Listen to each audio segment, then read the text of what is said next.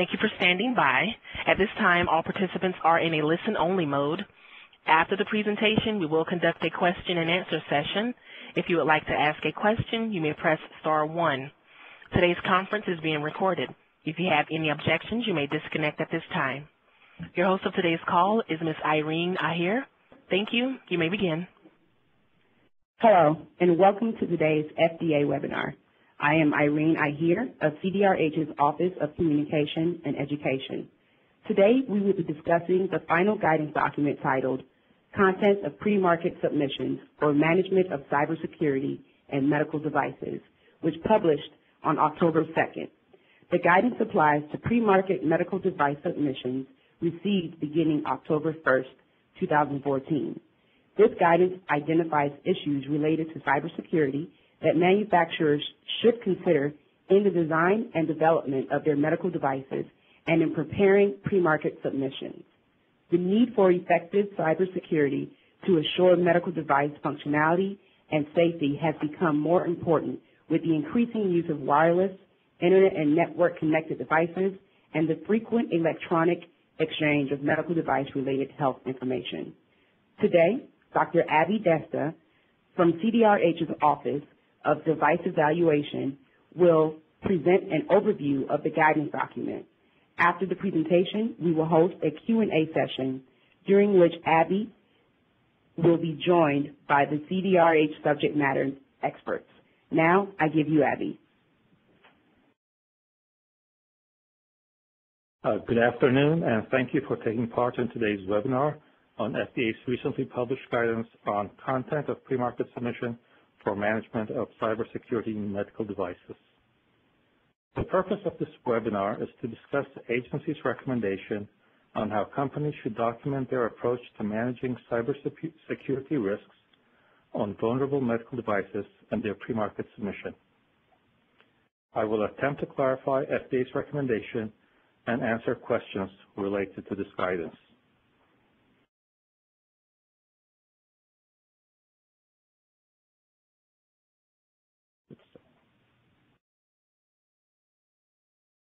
As background, this guidance document contains the FDA's current thinking on managing cybersecurity risk. It should be viewed only as recommendations by the agency. Companies may choose to implement alternative approach to mitigating cybersecurity risk in their medical devices.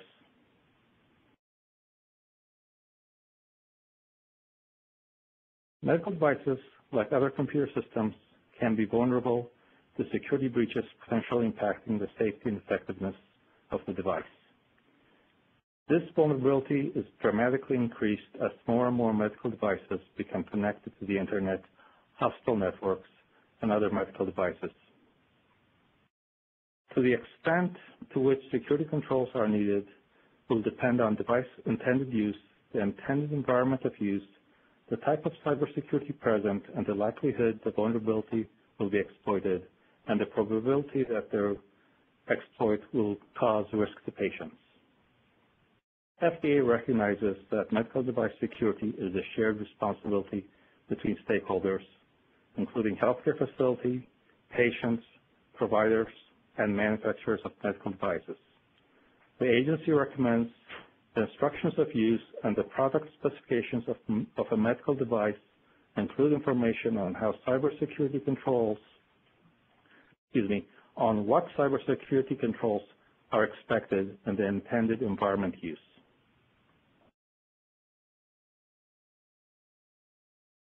This guidance is applicable to pre-market submissions for medical devices. Sorry, I think I'm one slide ahead. I apologize.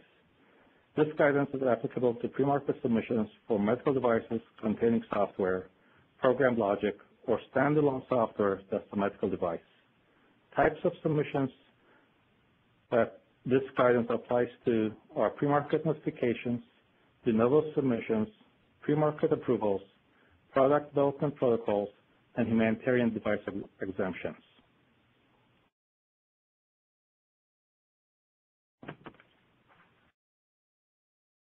The agency, the agency's the agency recommends that medical device manufacturer provide justifications in their pre-market submission for the security functions chosen for the medical device. Example of security functions manufacturers may choose to consider include limiting access to device through authentication of users, terminating sessions after a set period of time where it's appropriate for that use environment, using layered authentication model, using appropriate authentications, strengthening password protection, taking steps to minimize tampering, and requiring authentic authentication before permitting updates.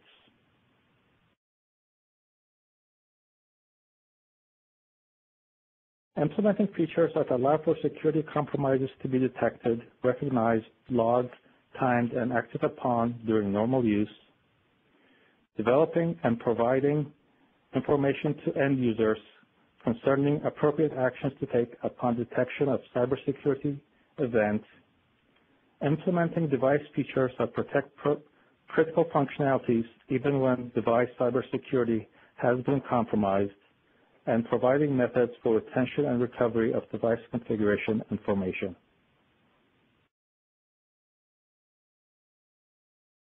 The documentation that the agency would like to see in a pre-market submission include hazard analysis, mitigation and design consideration, considerations pertaining to intentional and unintentional cybersecurity risks associated with your device, a traceability matrix that links your actual cybersecurity controls to the cybersecurity risks that were considered, a summary describing the plan for providing validated software updates and patches as needed, a summary describing controls that are in place to assure that the medical device software will, maintain, will maintain its integrity while it's under your control, device instruction for use and product specifications related to recommended cybersecurity controls appropriate for the intended use environment.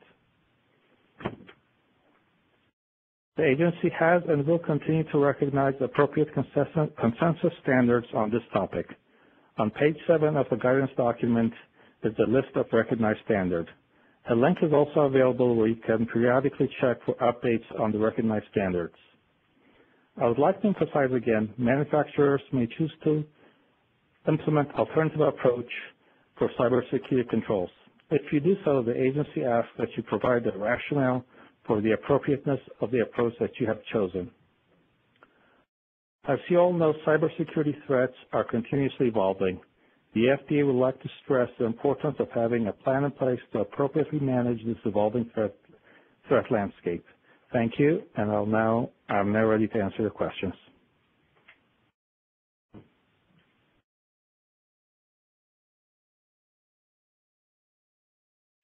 If you'd like to ask a question, please press star one on the phone at this time. Again, to ask a question, please press star one and record your name when prompted. One moment, please, for your first question.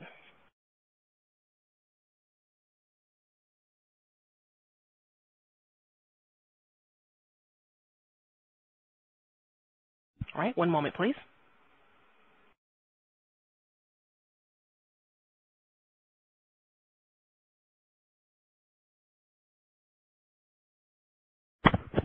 Our first question is from Boston Scientific. Your line is open. Well, hi there. Uh, regarding the mitigation of cybersecurity risks, is it adequate that the mitigations chosen um, to reduce the, the risks were selected in order to arrive at an acceptable residual risk for the system? Or does each risk have to be mitigated individually?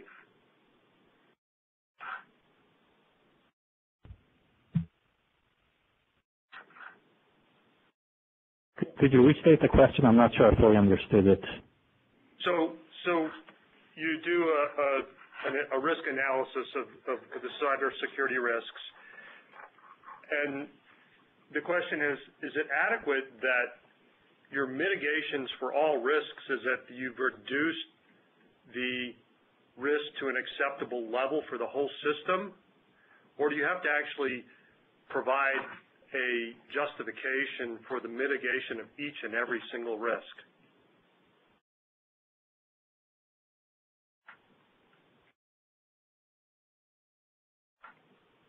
Generally speaking, uh, I believe we look at the system as a whole, not individual risks. So we, we would like to see that the risk to your medical device as a whole has been reduced. To an acceptable residual risk. Okay. That's correct. Very good. Uh, again, with regards to cybersecurity. Right. Okay. Um, and what about password protect, protection? When you include pa password protection, you kind of you provide security, but you also reduce availability of the device. What is the thinking on that? Again, that's recommended based on the appropriateness for the use of your device. Uh, the agency recognizes that in some applications that might be an appropriate approach. For others, it might not. It's Okay. one of the things we'd like you to consider in your design. Okay. And we do. Thank you. Thank you. And I'd just like to remind participants if you'd like to ask a question, please press star one on your phone. And when prompted, please record your, your, your name. Our next question is from Prabhu. Your line is open. Okay, thank you. Um, wanted to get some clarification on the applicability of the guidance uh, in terms of the submitted products. Is it is it intended to apply for uh, newly submitted products, uh, or what part or aspects of it apply to older products um, that are fielded? This this this guidance is for submissions that are coming in. If it's a modification to an existing product, it might or might not be appropriate to have included this depending on kind of in what generation it might be. I, I would advise you to talk to the branch uh, and division where your device is being reviewed to see uh, what their expectations might be. Okay, thank you. Thank you. Our next question is from John Aoki. Your line is open. Yeah, my question deals with uh, patient data. Is is cybersecurity primarily important because of patient data, or is it um, so that people can't hack into your system and ruin your system? I mean, is the main goal patient data? The main goal is device integrity and the function of the device. If patient data is part of that device integrity, then the data is important. But and just as important is whether that device is providing diagnostic or therapeutic functions. So I'm not sure how to separate out one functionality after another. We would like the device to be as secure as possible, regardless of what aspects are in there. So if it's a standalone unit and it's not hooked up to the internet, um, but there is perhaps a USB port in in your system, so you can do updates, phys- physical updates to your system. Um, Yeah, I mean, that's a potential vulnerability where both the device, the patient data or the functionality of the device can be compromised. So as part of your design of your device, that's a risk you should consider and mitigate for. okay. So if someone inserts just any type of USB drive, maybe you can prohibit it or something like that. It has to have a certain, you know, passcode on the USB. Again, the, I, I, the idea of this guidance is not to be prescriptive as to the method. It's just Sure. one of the areas of risk I'm that we would like to consider. example. Okay. All right. Thank you. Thank you. Our next question is from Mike Amati. Your line is open. Uh, yes, I have a two-part question. Uh, one is, uh, the, this is guidance, um, and uh, if somebody submits something and uh, you determine whether that the not really follow the uh, the essence or the spirit of the guidance, um, uh, exactly what does the intend the FDA uh, intend to do in that case? The other is, uh, how is the FDA actually going to make a determination that what's been submitted is actually adequate under the guidance. Again, this guidance is a recommendation. If we get a submission that we feel may not adequately address cybersecurity, we may have that discussion with the with the sponsor about how those risks may or may not require mitigation. Depending on the risks associated with the device, I think each branch will make a decision as to the safety of the device.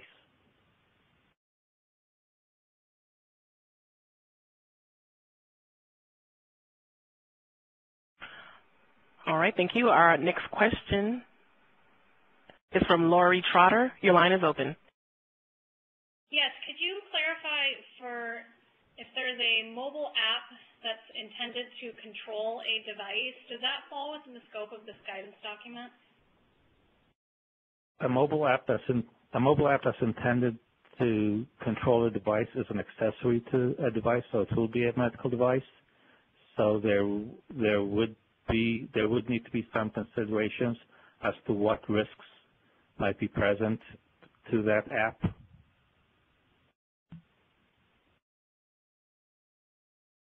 Okay, thank you. Next question is from Mike Tuskin. Your line is open. Uh, hello. Uh, in the security world, cybersecurity world, I'm, I'm thinking that there's two kinds of risks. Uh, those that have uh, could impact the safety and effectiveness of the device, and there's other risks that uh, could impact uh, the the uh, financial or, or picture of the company, uh, loss in sales, uh, penalties, fines, etc. When I read the guidance, I'm assuming that it is all focused on maintaining the device as safe and effective. Is, is that correct?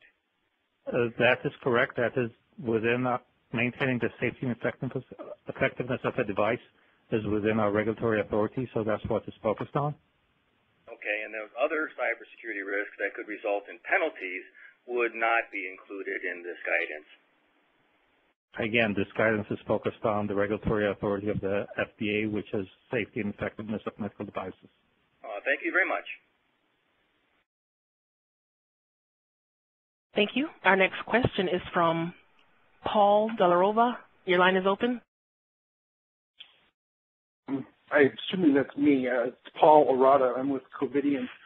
Uh, you mentioned collaboration between um, the uh, customer and the medical device manufacturer, and this becomes fairly uh, a fairly complex uh, proposition. And I'm thinking in particular about the requirement for um, an authenticated user and how many devices today have service passwords that are widely available um, uh, on the internet.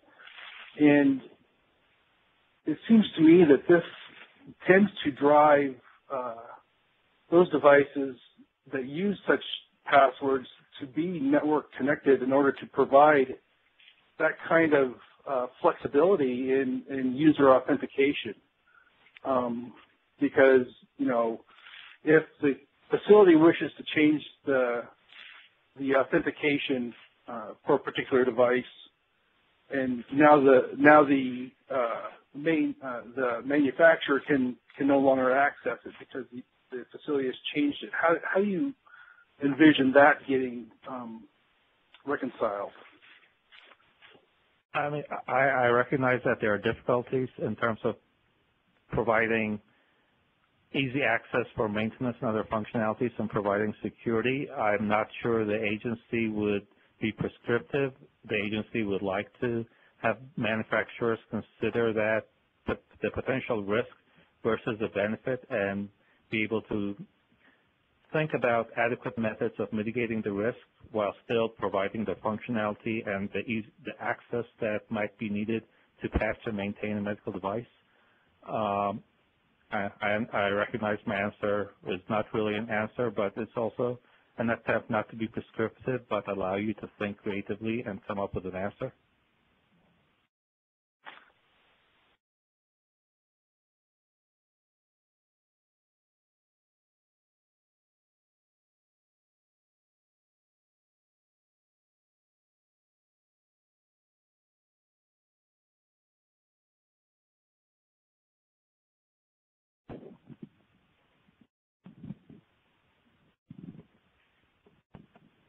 We'll take the next question.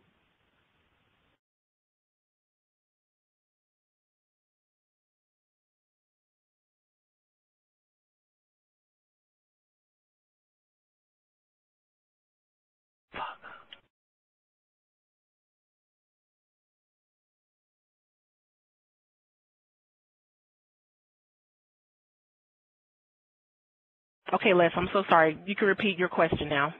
Oh, great this is Les Gray at uh, Abbott Laboratories. Um, there's uh, between the draft guidance you guys sent out earlier in the year and the final, I noticed two differences. Uh, one was the uh, you had called out in the draft comp, uh, buckets, confidentiality, integrity, and availability, uh, as if you kind of wanted us to bucket our risk into those buckets. Uh, and then in the final, you did not really call that out. Are you expecting to see us do our risk analysis based on those types of buckets, or? Uh, the draft guidance was there not to be implemented, but to get comments. The final guidance is what we would like to see being implemented. Uh, there were changes, as you stated, between the draft and final guidance. Part of that was in response to the comments we received, and part of that was to make to make sure that we were being we were properly balancing uh, the, our recommendations and the actual burden that might be presented to industry. Okay. So on the second, the second one, which is not really related, it's just something new in, the, in, in this versus the draft, was you actually say that the FDA does not need to review or approve software changes solely for cybersecurity, as long as we describe that in our cybersecurity update patching plans. Um, can you expand on what that that means? Does that mean we don't have to address cybersecurity when we do an update?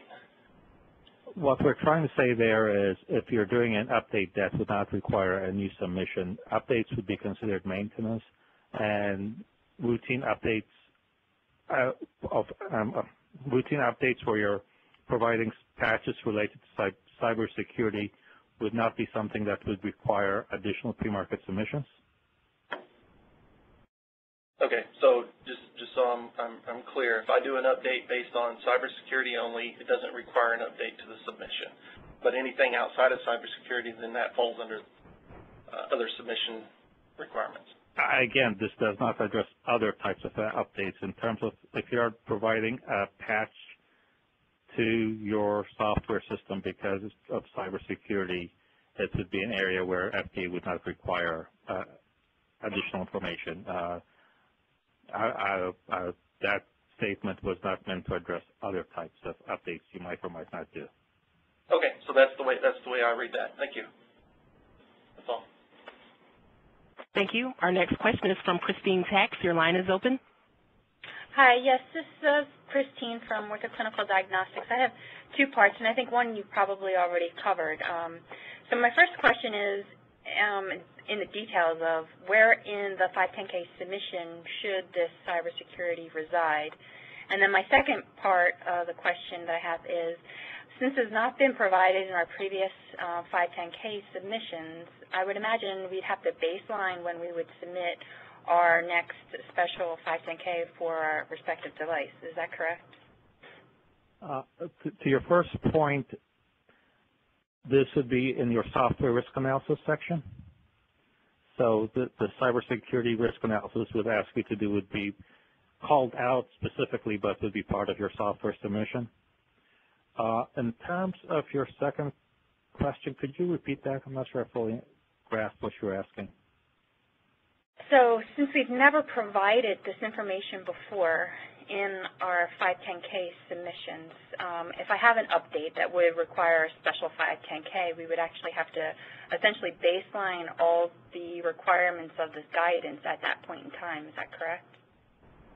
We'd have to submit. So when we submit a special now, we submit based on any new information. So since we've never submitted this information before, we would have to submit it at that point in time, yeah. even though the change isn't necessarily related to cybersecurity. Yes.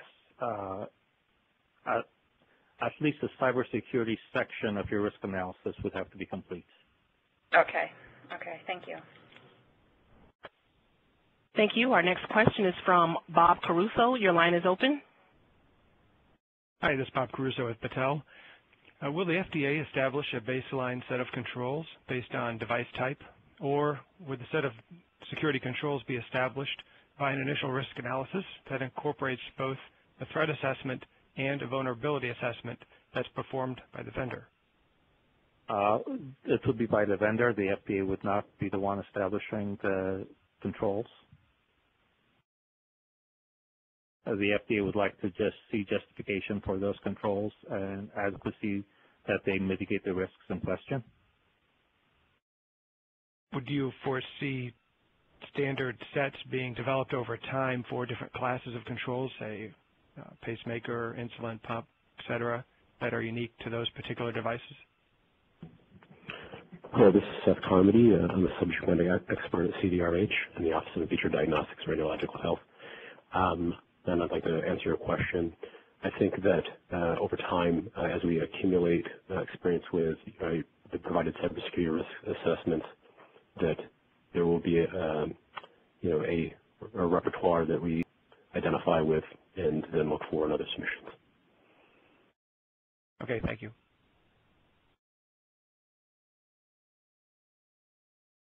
Thank you. Our next question is from Dan Schmidt. Your line is open. Thank you. Um, so the FDA guidance emphasizes limiting user access and password strength requirements. If if that responsibility is moved over to the health system through, as an example, Active Directory integration, is that considered a preferred solution? Essentially moving that responsibility to the health system rather than building it into the medical device solution. Again, that is a recommendation. If there's alternative, including moving it as you suggested, that would mitigate the risk adequately, I think this would be one we'd consider. I would not want to be prescriptive now and say that was something that you should do. Uh, again, what we'd like to see is threats posed by simple passwords or e e easy authentication be limited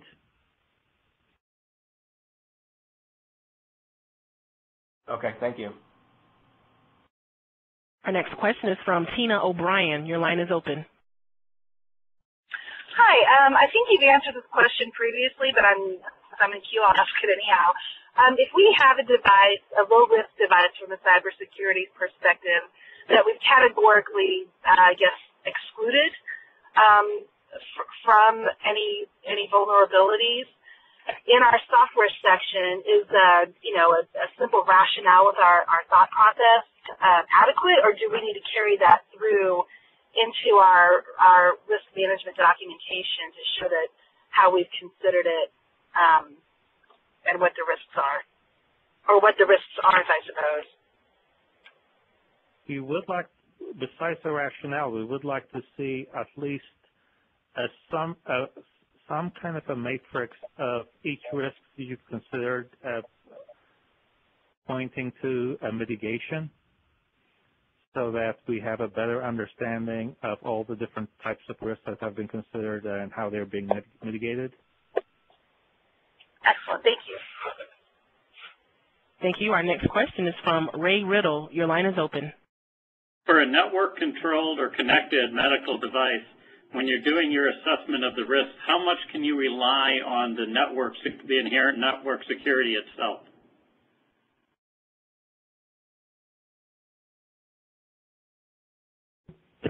This is Seth Carmody again.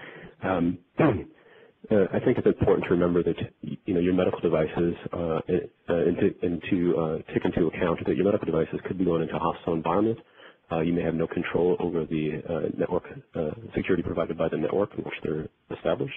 So I think that it would behoove you to uh, adopt controls that defend your, your device singularly um, and, and as if they're in a, and going into a hostile environment.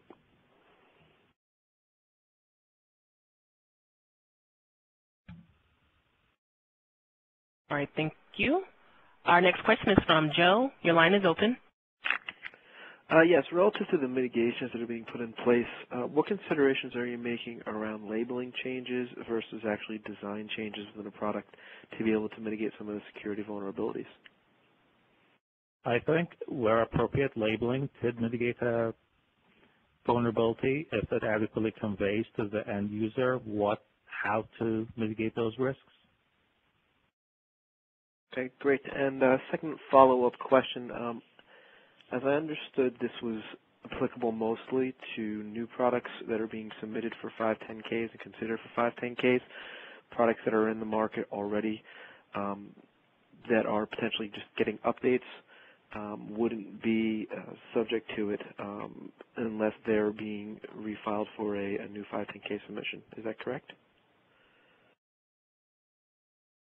I'm not distinguishing just getting updates versus a new 510K submission. Uh, if you have a product that's on the market that requires a 510K because of changes you've made, it would be up to the discretion of the of the review branch to see whether cybersecurity risks need to be concerned or whether the device as it stands alone poses low risk and so those the modification you propose could go through without addressing cybersecurity. Okay, but just to clarify, you know, as as companies are making priorities on, you know, new product adoption versus adopting a, a legacy product that may have been in the field and close to an end of, of life, how is the FDA seeing the relative risks of those different and, and what standards or expectations are you putting in place for different device vendors? I'm not sure the agency is putting any expectations. We would like to see all vendors consider cybersecurity risks when they design and produce their device. Uh, the FDA recognizes that the legacy devices, uh, these modifications may not be practical or feasible, but we don't want to set expectations based on that. Okay, great. Thank you very much. Our next question is from Yvonne Newell. Your line is open. Oh, hi. Um, I have a question for the software package delivered through the website or cloud. Uh, how should we handle that through the um, cybersecurity issues? Could you repeat the question? Okay, like a software delivered through the website or through the cloud. How when how can we mitigation any like a risk analysis or that would be uh, impact on the cybersecurity. If you're saying that you have a medical device as a standalone software that's delivered through the clouds? Yeah, or like a service package, like a uh, like a small release updating software. Both. So uh, if, the if you're software or for the uh, software update through the website or through the cloud. If you're if you're providing patches through software updates and or clouds, uh, the agency would like to see some kind of built-in authentication so that the device where the patch is being placed trusts the source from which the patch is coming. Uh, in terms of standalone software that might exist in the cloud or on the network someplace, uh,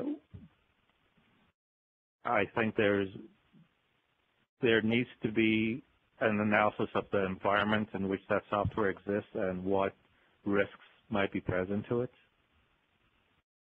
Okay, so do you uh, just like a password to require will be good enough, or what else additional um, implementation uh, we should consider? Again, we don't want to be prescriptive. Uh, we would like you to choose a method and be able to justify why you feel that method is appropriate.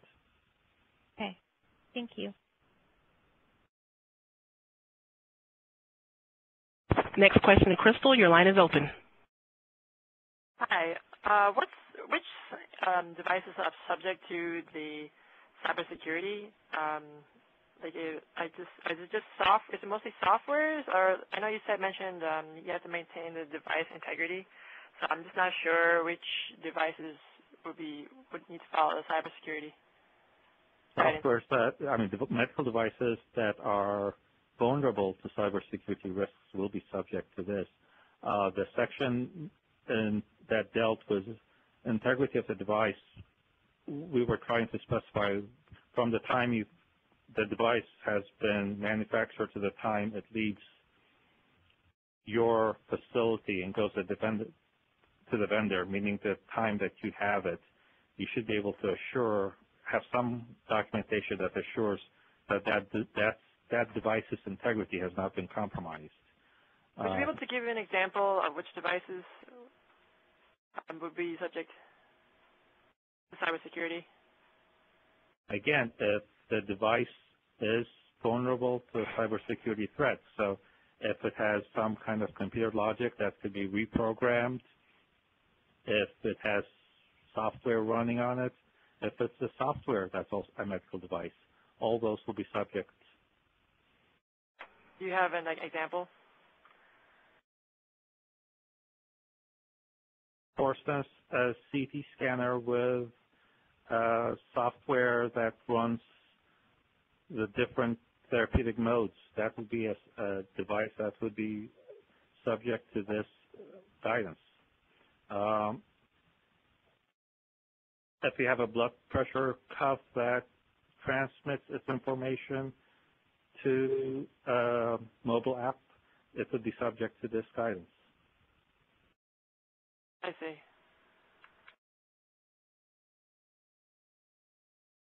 Yes, that yeah, that does answer my question. Thank you. Our next question is from Frank Sutkin. Your line is open. Hello. Yes. Uh, I, I, hope this question will make sense to you. So uh, I'm looking here. What what can we expect as the disposition of the FDA for submissions coming forward? Is there a leeway period?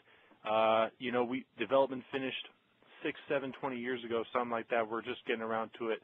I am not saying that's actually the case. I'm just giving an extreme. Can we expect a leeway disposition from the FDA moving forward for submissions? I think when you provide a submission, we would like to have a conversation with you about cybersecurity, whether it is appropriate to to provide a leeway or not. I think will be made by the reviewed branch. Okay. So your answer, if I may rephrase it and you can correct me, is a case-by-case basis.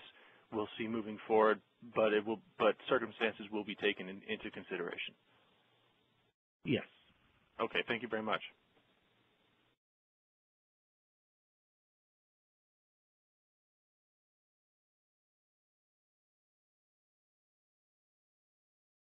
The next question is from Philip Lee. Your line is open. Thank you. Philip Novalis Lee from Grifols Diagnostic Solutions. My question pertains to labeling or instructions for use. If there are any best practices that you could provide as far as the scope or what aspects of cybersecurity other than um, what was uh, mentioned, firewall or antivirus software that should be captured in our instructions for use. The second aspect of my question uh, pertains to the risk management guidance. Uh, can we use the standard uh, ISO 14971 in lieu of an IT network specific standard on uh, risk management? To your first question, I think I'm not sure if the agency could provide specific examples. It depends on the use environment of your device that you need to provide adequate labeling. If you have an idea of where your device might be used, for instance, if it's a home use device, you might want to provide labeling instructions to a home user as to what the minimum configuration sh should be to based on the security that you've implemented in your device. Uh, if your device is going into a hospital, clearly the labeling might be different. So it would really depend on the use environment of your device. And uh, I'll defer to one of my colleagues to answer your second question. And this is uh, Linda Ritchie. Um, I'm also from the Office of Device Evaluation. Can you repeat the second half of your question, please? Uh, basically, if we could adopt the uh, ISO 14971 risk management in lieu of using uh, an IT network-specific standard on risk management? Uh, certainly, the ISO 14971 standard is an FDA-recognized standard for risk management, um, and you are certainly welcome to use that uh, as part of your risk management process. It's also important to understand that the risks that um, you might be uh, trying to identify with regards to cybersecurity um, might also be well characterized by other uh, standards that deal more with IT security. And so if you wanted to use a combination of the two, that would certainly be um, an option that we would be open to. Thank you. Our next question is from Jordan. Your line is open. Hi, yes, uh, Jordan Lightcock here. Um, if we are submitting a 513G application for information and uh, from past applications uh, we're seeking to be a non-medical device but it is used in the medical field and passes similar type data, is there anything we need to elaborate more on cybersecurity than we have in the past? In a 513G? Yes. A 513G would not be a submission where the agency would expect to see cybersecurity information? Okay, and uh, would it be helpful in I mean, a 513G is a request for information uh, about the classification of the device. It, it will not be uh, a, a, safety and effectiveness review assessment. So it would not be okay. it would not be necessary to do that there. Okay. All right. Thanks. Our next question is from Leonid. Your line is open. Uh, thank you. Hello, it's Leonid uh, Dario. Uh, I would like to ask uh, another question about updates to the software. I see two aspects of the uh, of the updates. Uh, one of the aspects you covered recently about the security of the update itself, so that we can mitigate the risks of invalid update or and failed update. However, another question I have is, um, in case our update includes new features for the application or um, changes the behavior of our application, uh, who is, how should we decide if this is um, allowed by the FDA to be under the same submission of, of the whole application, or this update has to be separately um, submitted. Uh, what is the criteria here? If an update is changing the specification of how your device functions, whether then that would be a modification that would probably require a new submission. If your update is only patching a cybersecurity vulnerability and not affecting the specification for which your device has been cleared, then that would not require a pre-market submission. Uh,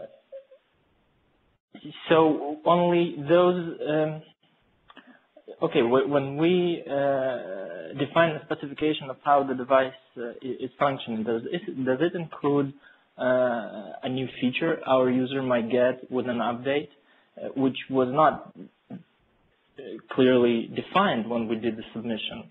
However, the it, it just adds another ability for the user, for example, to review the data or to somehow work with the data that it gather, gathers with the device. Uh, is, is, is there a possibility to add such feature without violating our previous submission? Um, so your question really is outside the scope of the cybersecurity guidance, and the cybersecurity guidance is talking about updates that are specific to cybersecurity vulnerabilities that you're trying to patch. If you're asking a question about when to submit a new 510K for changes uh, that you're making to your device, whether it be software or otherwise, um, I uh, encourage you to check our website on, uh, uh, there's a document called When to Submit a New 510K that will cover the, uh, when you change the functionality of your device, software, otherwise, what would require a new 510K. And if you right, have further questions regarding that, um, I would encourage you to contact the review division um, that handles your types of devices to have a more specific conversation. All right. Thank you. I understand. Our next question is from Claudia Jackson. Your line is open. Yes. Hi. Um, I have a question uh, surrounding the um, information on cybersecurity that you would submit to the FDA. For each submission that you do, you do a submission for changing your a significant change in your device. and because your device um, may have a legacy model or version, cybersecurity or the system of the cybersecurity around that device has already been established and risk has already been mitigated and discussed. But if I do a modification or I do a significant change to that device that has nothing to do with the cybersecurity of that device, my submission still has to include, this is the question, still has to include the risk analysis that was done maybe two or three models or versions ago? That's the question. I hope I, I hope that was understandable. If you feel that the risk analysis that was done two, three years ago adequately mitigates risks that are at present time, you could reference that risk analysis? Okay, but I would have to submit in that risk analysis in its entirety um, would be based upon different test cases and um, have a different traceability matrix. And this could get kind of, I could get kind of lost in, in what the FDA is looking for. Uh, yes, you present a very challenging situation in which you've actually done some um, work on cybersecurity for legacy devices that you uh, that was not presented previously to the FDA, and now your versions have moved onward. So the the rationale and the risk analysis um, for what you have done previously, even though it still applies, you can't map directly into your submission now. Is that a summary? Right. Thank you.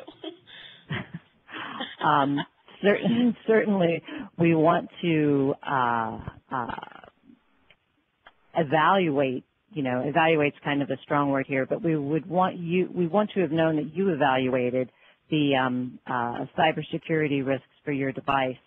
So in those cases, um, certainly I would talk to the review division and make sure you have an open dialogue with them explaining, um, you know, what you have done previously.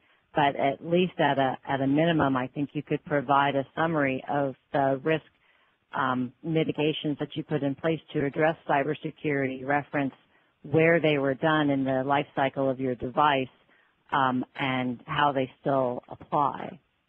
Okay, that's reasonable. Thank you.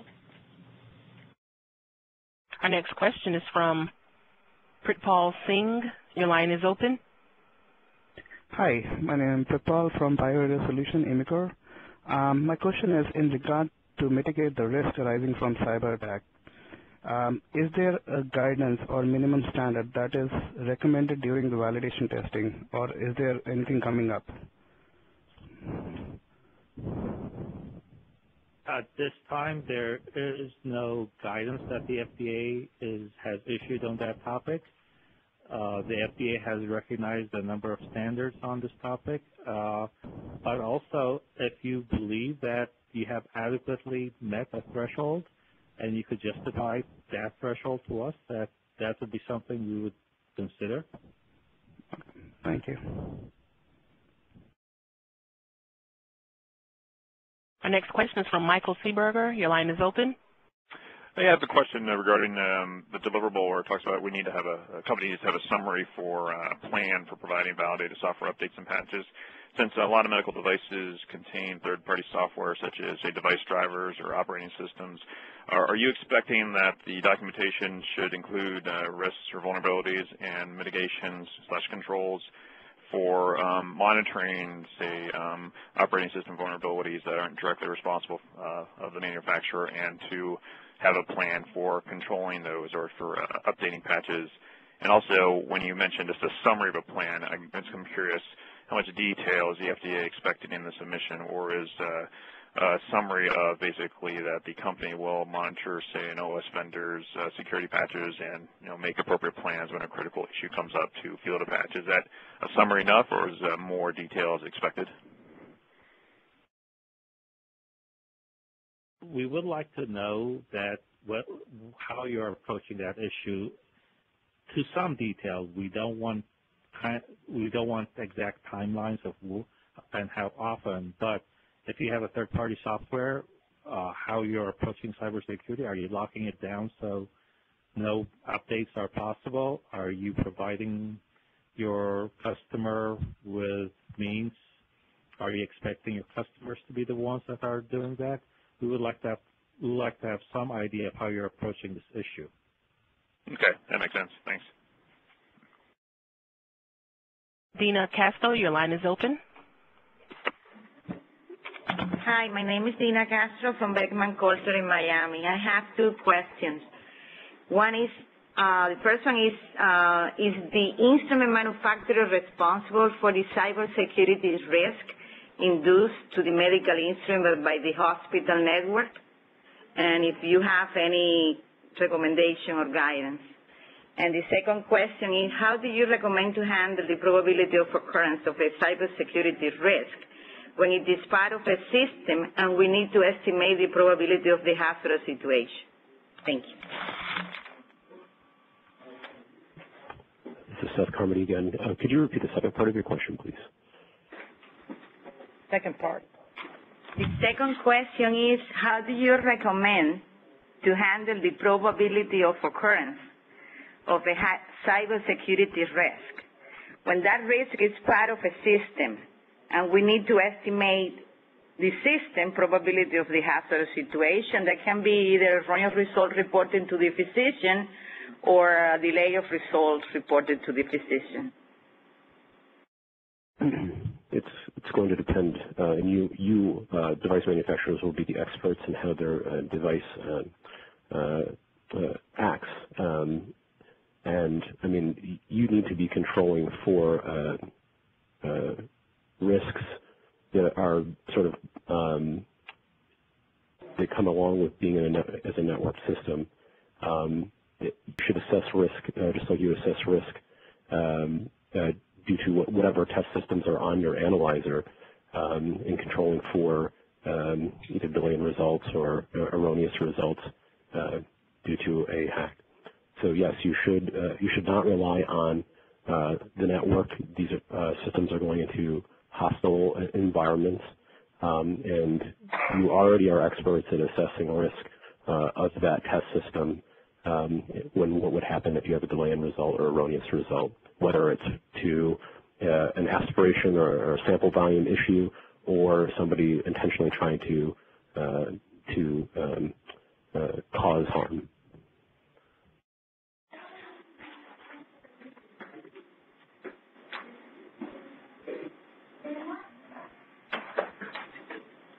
Our next question is from Matt Shaw. Your line is open.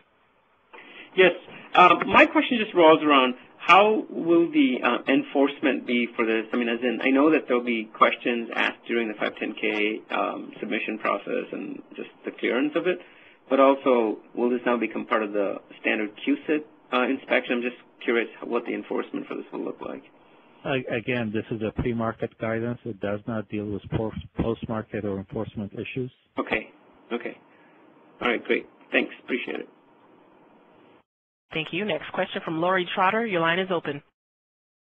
Yeah, I had a question regarding the scope and the inclusion of programmable logic. Um, can you provide some guidance around that, um, including what your definition of programmable logic is?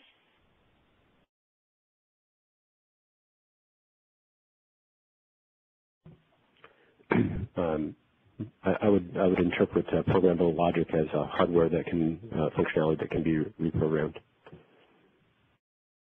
And um, you know the uh, there are plenty of resources uh, that that currently exist uh, in other sectors uh, that you can look to in terms of guidance. The FDA has no specific guidance on those technical items, um, but I, will point you to the uh, government agencies such as NIST or other sectors such as banking or industrial control systems or defense sectors. Okay, thank you very much.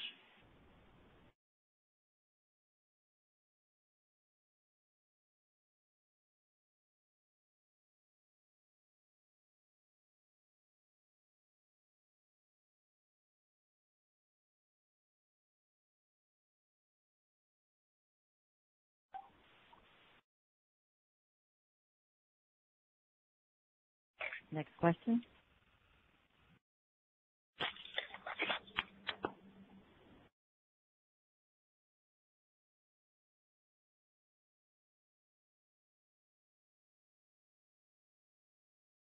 Operator?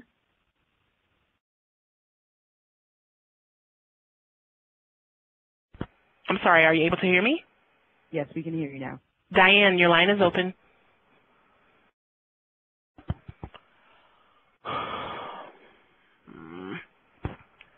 All right, we're going to move on. John with Zima Medical, your line is open. Hi, I have a question about the encryption, encryption of data communications between medical devices and some external devices. Since since the manufacturer is not, a, is not required to follow any kind of industry standards, and we can choose whatever scheme that encryption scheme that we think is suitable, is there a, a basic minimum requirement about the strength of the encryption that is that is needed, like from a mathematical standpoint? I mean, does it, from a mathematical analysis standpoint, I mean, is there any minimum requirements that it has to meet to be able to prove that this encryption scheme is strong enough to withstand hack, hacker attacks? I think the agency's perspective is for you to provide a rationale for whatever scheme that you've chosen and whatever strength it is, that it is adequate to mitigate the risk your device faces in the use environment. So the agency will not is not going to be prescriptive on that. Okay, thank you. Thank you. Our next question is from Deborah. Your line is open. Hello. Um, I have two questions. Uh, the first is um, for submissions that are currently under review, is this something that you anticipate that it would be brought up during, um, you know, the review process if, if we've already received our first response from the FDA? If the submission was submitted on October 1st or later, depending on your device type, you may or may not. Okay. And then the other question is, um, under the guidance, there's a section that goes into different means to limit access to trusted users only. Um, would would it be possible to, for example, the first bullet says limit access to devices through the authentication of users, for example, user ID and password, smart card, biometric. Would you be able to provide an example where that would be most appropriate? Difficult to provide an example of it would depend on what your device is and the use environment. There might be use environments where providing such means of authentication would not be practical. For instance, if your device was being used in a surgical suite, that would probably not be an appropriate method of authentication. In other use environments, it might. Uh, what the agency would like to see is for you to consider different methods and choose the one most appropriate for your use environment that reduces the risk of unauthorized access.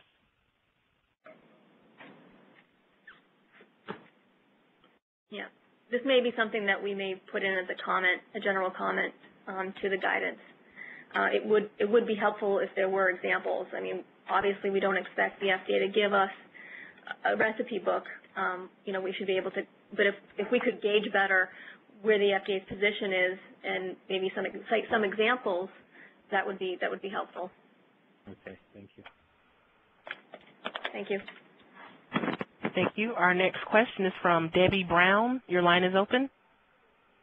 Hi, this is Debbie Brown. I'm, uh, there was a question somewhat like this earlier, but I think this is slightly different. Are the cybersecurity guidelines applicable to mobile apps that are subject to enforcement discretion?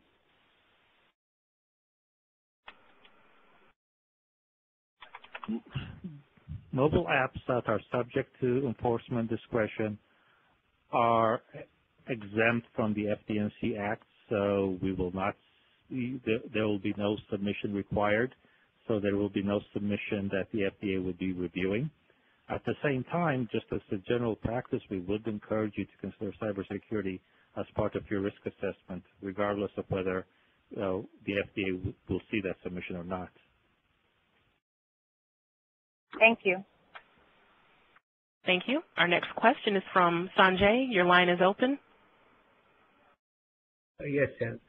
Um, thank you for the platform. We just have a question in terms of uh, the cybersecurity, how how much it extends uh, with regards to the cybersecurity within the medical device application or also to the interfaces to the third-party tools that that our device that a device would interface on and and also with you know like um, do we have to have requirements for the third-party tools for the uh, for the cybersecurity?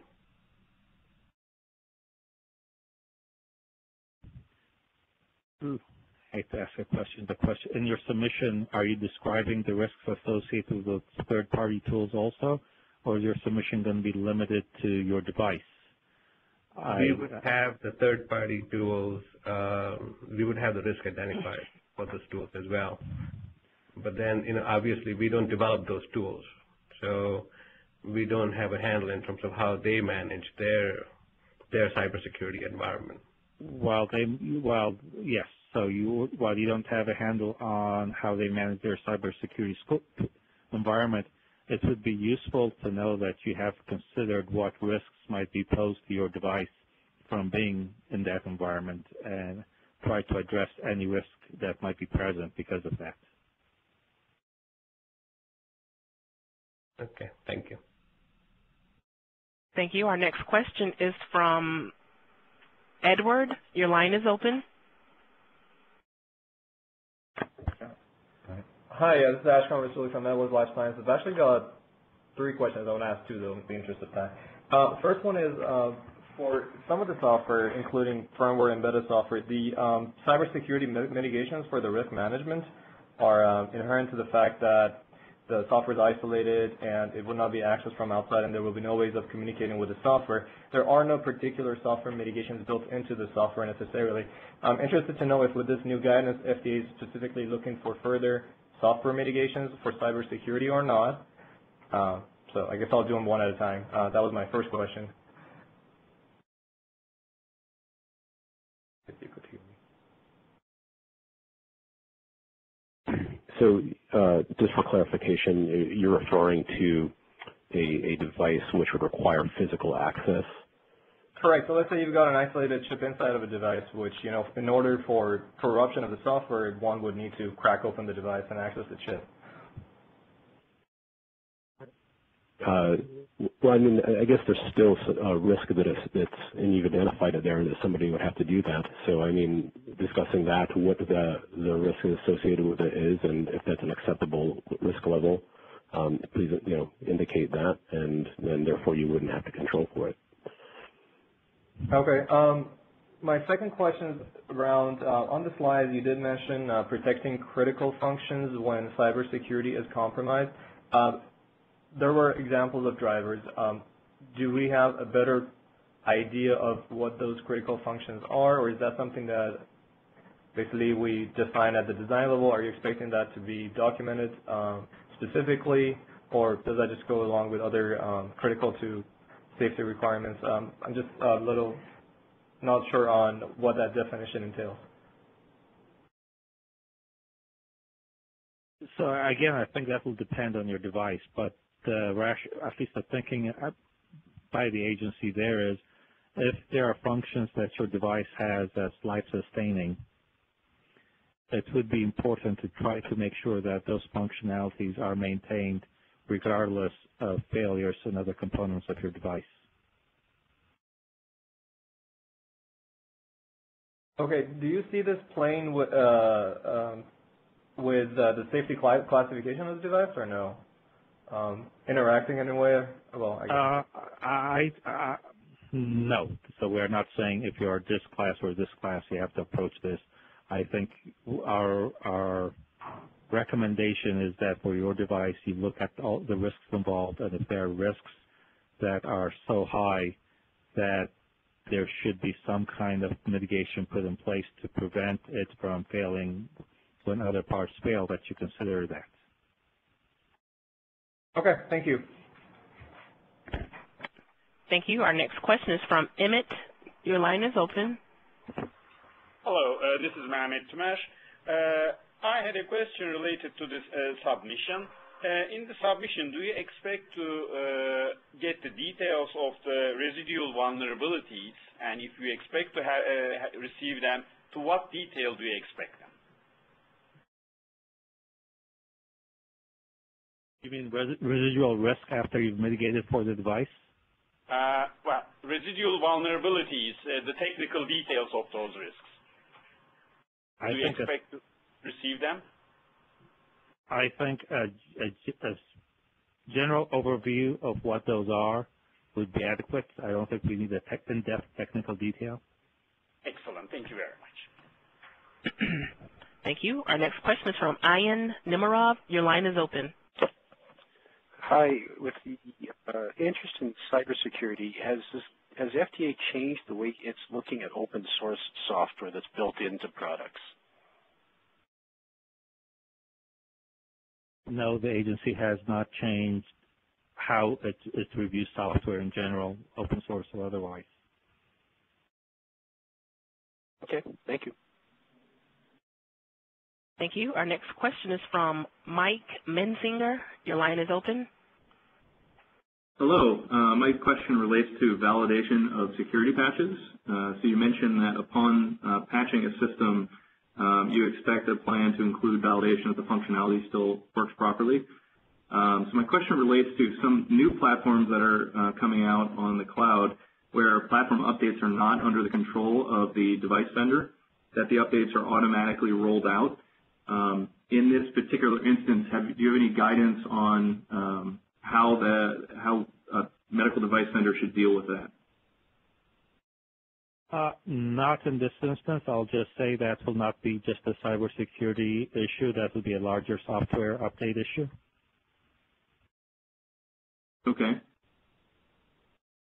So um, is there, uh, if, if we can, uh, if, if we had a plan where we could detect uh, that the, the update is being rolled out and uh, do a validation at that event, is that something that you've considered acceptable in the past? Well, um, so let's say you have something on the Android platform and Android platforms are being continuously being updated. The assumption is that you, before providing a patch to, to your de medical device that's on there, you'd have made sure that it will work with whatever new version may be coming or is, has been implemented since your last update. I'm not sure if that answers your question directly. Sure, that makes sense. So if there's a breaking change from a platform, um, as long as the, the, device vendor provides a change that the user can install uh, to make it compatible, that would be acceptable. Yes, but again, I think that becomes a, a larger issue than just cybersecurity. Sure. Okay, thank you. Thank you. Our next question is from Jason Yom. Your line is open. Hi, uh, Jason Young from uh, Beckman Coulter Chatsworth. Uh, the question is regarding the firmware, custom firmware that was developed in-house. Does the risk analysis that's getting filed as part of the 510K should include the risk analysis for the firmware cybersecurity um, risks? We already planned for the OS and uh, the workstation software, but uh, I don't think we have any plan for the firmware part.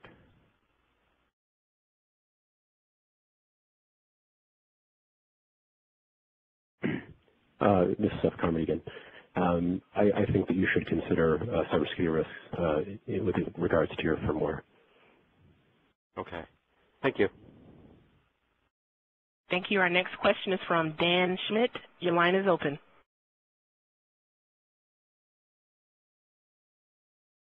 Dan, you may have your phone on mute.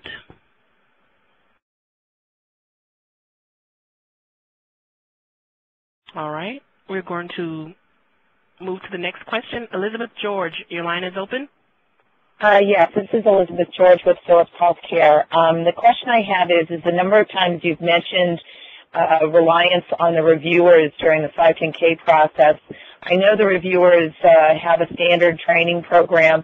I'm just curious as to where they stand in being trained in understanding what a cybersecurity risk is, what vulnerabilities are, and even what some of the nomenclature that the vendors will be submitting in the uh, submissions. Uh, we continue to provide reviewers training, and we also continue to have uh, subject matter experts ready for those reviewers to rely on when a submission comes if there's something there that they are unfamiliar with. Thank you. Appreciate that.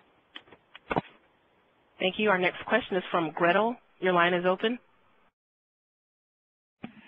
Hello, this is Gretel. I'm from Philips Healthcare also. Um, my question had to do around with the how does the agency going to address refusal to accept policy in light of this new guidance? And, and you know, there's just been a lot of uh, recommendations, you know, talk, uh, make determinations with the reviewers Uh, as to whether or not we need to include the security. And what my concern is that with the refusal to accept policy, that we could get the submission kicked out, even though we have agreement with the agency already to not include security for whatever reason. The refuse to accept will not apply here, so your submission would not be kicked out because of this. Okay. I just wanted to clarify that because we hear a lot about that. Thank you. Thank you. Our next question is from Stephen Garsky. Your line is open. Hi. Um, one of the things that happens when driving down residual risks of cybersecurity is it becomes evident that the residual risks lie in the hands of the responsible organization. And, uh, you know, there's a balance between usability and, and authentication, as you know. Um, some of those hazards just don't go away as a result of, um, or they can only be driven to a certain level because of res- reliance on the responsible organization to do their job as prescribed in the labeling for the use of that particular device. What's the agency's thinking on what the appropriate handoff is for the responsible organization? Because uh, you can only mitigate so far in some cases. Thank you. Uh, and the agency recognizes that. So one of the ways to ensure appropriate handoff is to provide it in your labeling as to what your device is is capable or what risks your device is mitigating against and what your expectation is in the use environment. And the FDA would like to see better communication between the, I guess, vendors and end users about how to manage risks as a whole. Okay, thank you. Thank you. Our next question is from Gary with Welch Allyn. Your line is open. Hi, this is Gary with Welch Allyn. We had a recent submission, and the FDA came back with requesting cybersecurity requirements in terms of upfront requirements. How, how are those defined, and what, what are you actually looking for in terms of actual cybersecurity requirements? I'm not sure I could speak to specific submissions. I would say that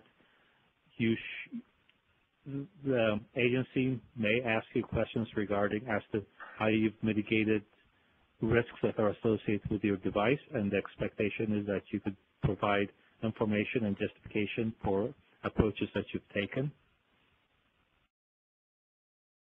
But I would further encourage you to talk to either the reviewer or the branch chief in the branch that your device is being reviewed. Okay, thank you. Thank you. Our next question is from Shilpi. Your line is open. Hi, um, I'm Shilpi from Stryker. I would li like to ask if my device has Wi-Fi capabilities, but it is not in the public network. Does it still require cybersecurity? If your device is vulnerable because it's connecting to a network by which it can be compromised, then that's a risk that we would like you to consider and provide mm-hmm. just provide information to us of how you consider that risk and mitigated against it. Thank you. And I have just one more question. Do mobile apps require 510K? It depends whether the mobile app that you are referring to is a medical device that is being regulated or is a medical device that has been put under enforcement discretion by guidance. So it, it depends on Perfect. Thank you so much. Thank you. Our next question is from Claudia Jackson. Your line is open. Yes, I have a question about um, the healthcare IT framework because of the medical device manufacturer that I work for. We fall under um, uh, ONC regulations and HHS regulations and CMS regulations as well as FDA regulations. And so some of the cybersecurity measures that we have taken, um, we've taken for other agencies' regulations. Um, and with the FDA's um, guidance, is it going to remain in line with what was proposed as the health IT framework of all of these organizations?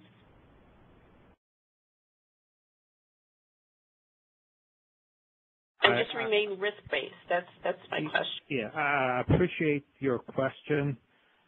Unfortunately, I mean, I came prepared in terms of talking about this guidance and the policy implications. That's a larger question that I'm not able to answer. Oh. Is there anyone on the panel that would be able to answer that question? Uh, it's about the guidance. Is the guidance going to remain within that health IT framework? The guidance will be applicable to submissions, whether it's in the larger framework or not. If you're submitting to the FDA for a pre-market clearance, the guidance will apply. How that, how the agency's guidance, I think, interplay with ONC or what other federal agencies may require, I don't think here at the table we are prepared to answer that question. Uh, I, I'm trying Even though the FDA is heading up the health IT framework? uh, the, uh, I, I, I would suggest contacting the health, the contact person for the health IT framework and maybe directing that question there. Okay. Thank you. Thank you. Our next question is from Frank Sutkin. Your line is open. Hello again. Yeah, nice to talk to you. So, uh, you, there's a while back now, you answered a question saying where does the documentation go, the documentation that you asked for in the guidance document. And you pointed to the risk analysis in the software. And I don't disagree with you, but I'd like you to uh, elaborate on your point because your general principles of software validation, final guidance for industry and FDA staff talks to security measures as going into the software design specification and not the risk analysis. So could you elaborate and say where you expect our documentation to be present in our submission?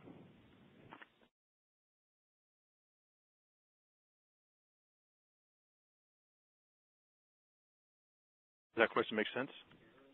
Sorry, I was having trouble with the microphone. Uh, this is Linda Ritchie again. Um, certainly there are many different uh, sections of the software documentation in a submission uh, that could characterize the risks and mitigations posed by cybersecurity as well as, as other things. We had pointed to the risk analysis in this discussion for the cybersecurity uh, more as a starting point. Um, certainly anything that uh, is in your risk analysis that uh, then points to a mitigation we would look for in other places as that is common in um, uh, addressing risks. Uh, so it's, I don't think it's inconsistent when we were discussing with regards to this guidance that we expect you to start with the risk mitigation because as has been stated previously, we expect this to be done, to be done um, in a risk approach. Uh, certainly there will be other aspects of your design and implementation that may contain information related to the mitigations for your cybersecurity, as with many other functions in your device.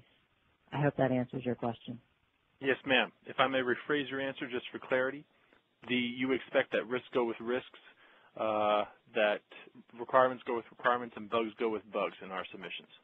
Absolutely. Okay, thank you very much. Thank you. And our final question is from Prabhu. Your line is open.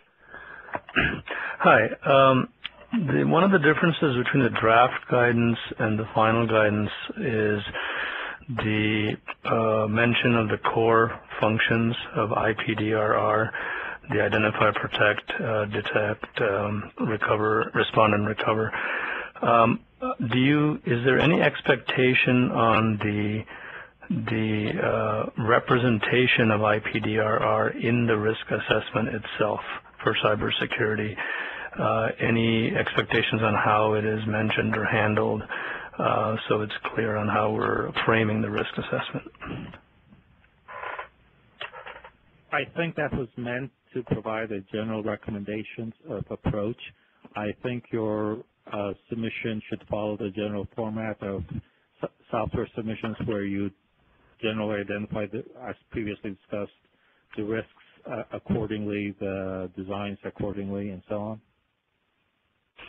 Okay, so you're viewing it as a uh, more of a process framework uh, to consider along the uh, risk management cycle as we evaluate cybersecurity.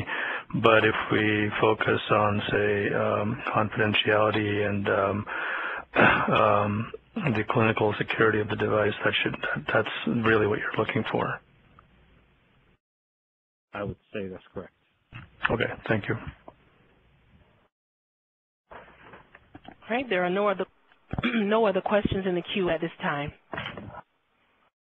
Thank you. This is Irene Aihie. We appreciate your participation and thoughtful questions.